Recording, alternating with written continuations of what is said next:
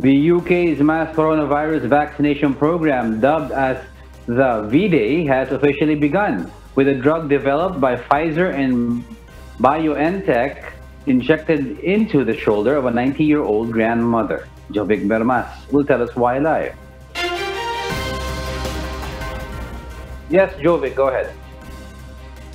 Diego Margaret Keenan, a 90-year-old grandmother from Britain, has become the first person in the world to receive the Pfizer COVID-19 vaccine outside of a trial following its rapid clinical approval.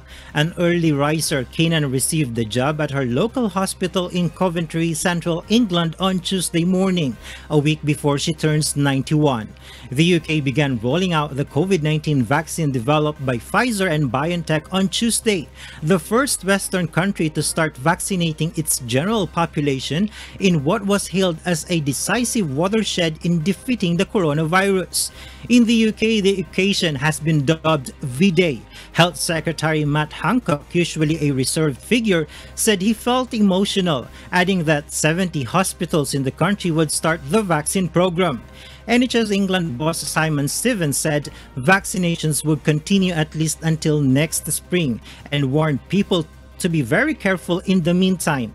The vaccine could not arrive soon enough for the UK, which has more than 61,000 COVID-19 related deaths, more than any other country has reported in Europe.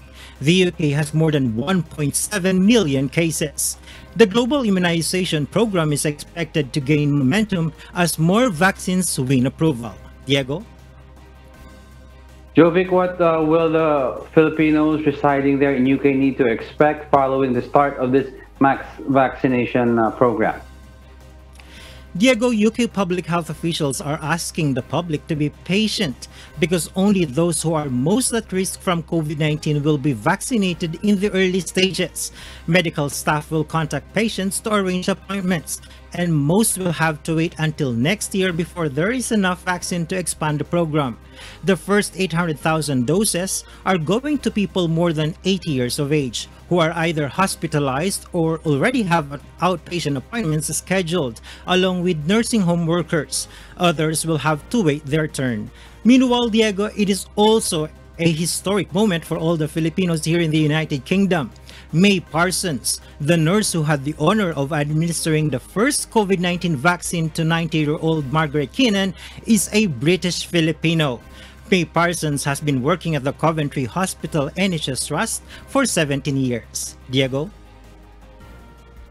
Thank you for that report. Jovic Bermas reporting live from London, United Kingdom.